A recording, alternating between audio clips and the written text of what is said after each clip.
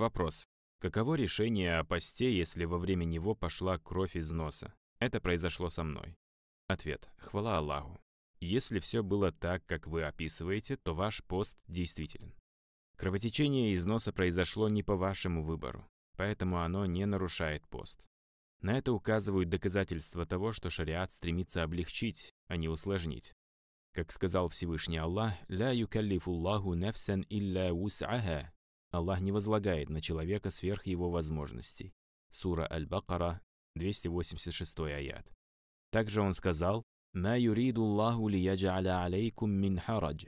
Аллах не хочет создавать для вас трудности. Сура Трапеза, 6 аят.